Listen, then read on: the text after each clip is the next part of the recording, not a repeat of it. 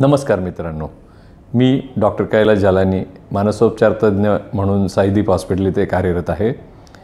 आजचा दिवस म्हणजे एकवीस सप्टेंबरला वर्ल्ड अल्झायमर्स डे आहे.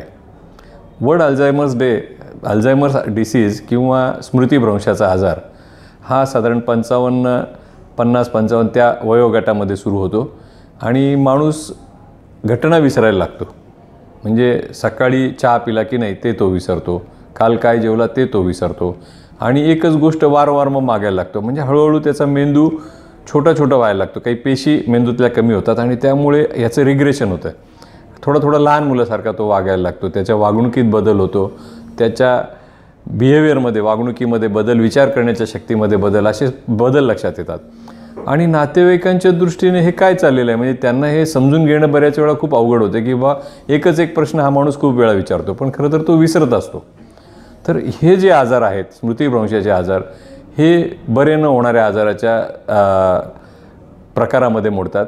आणि अशा लोकांना आयुष्यभर म्हणजे त्यांना मेंदूचे व्यायाम शिकवणे त्यांची स सर्वात आधी तर डायग्नोसिस एस्टॅब्लिश करण्यासाठी काही मेंदूच्या टेस्ट असतात त्या करणे.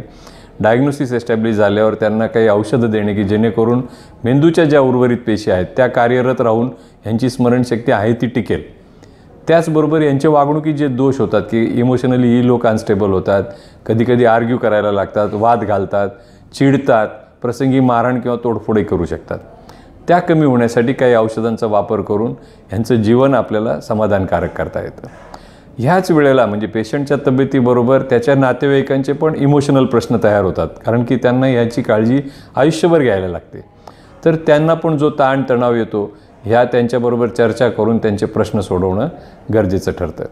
रुग्णाला त्याच्या इलाजाबरोबर बऱ्याच वेळा त्यांना कळत नाही. त्यामुळे आपल्या घरामध्ये वाय लाईटचे पॉईंट खाली नसावेत ज्याच्यापासून रुग्णाला इजा पोचू शकेल अशा गोष्टी टाळायला पाहिजे. म्हणजे शार्प कॉर्नर्स फर्निचरचे शॉर्प शार्प कॉर्नर्स पायऱ्या आपल्या घरामधल्या ह्या सगळ्या गोष्टी जिथे जिथे पेशंटला इजा होऊ शकेल त्या आपल्याला काढता आल्या पाहिजेत.